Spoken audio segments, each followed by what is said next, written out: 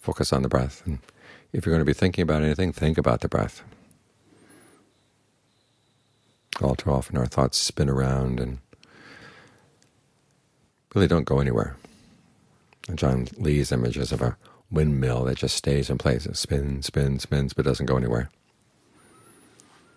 Whereas if you spin around the breath, then it turns from a wheel of samsara into a wheel of dharma. In other words, you've got virtue, concentration, and discernment. You spin around in those things.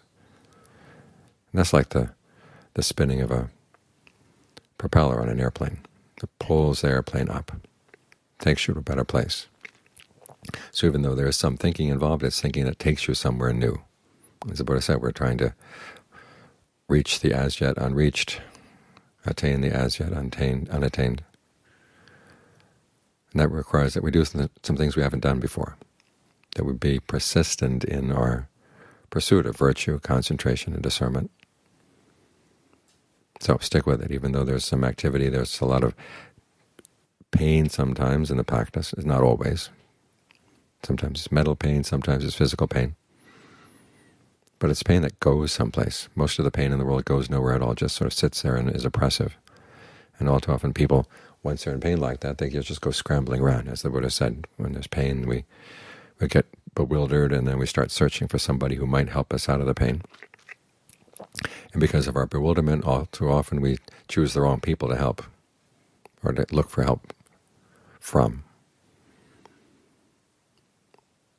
That's the kind of pain that goes nowhere. We'll try to make this the pain that goes someplace, the pain of sitting in the meditation, the pain of realizing there's more to be done.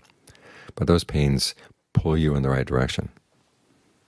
They motivate you to act in ways that really are for your benefit, in ways that will take you out of the situation where you are now, this situation in the mind, and take you to a new place. So keep spinning around the breath this way when everything gets calm, everything gets worked through in the body, okay, then you can settle down and rest. And the rest here is not the kind of rest that just sits there. Again, it's a rest that goes someplace. After all, right concentration is part of the path. It takes you someplace that you haven't been before. So give it a try. Don't say, well, I feel okay today, I'll just let off on my efforts. It's okay is not good enough.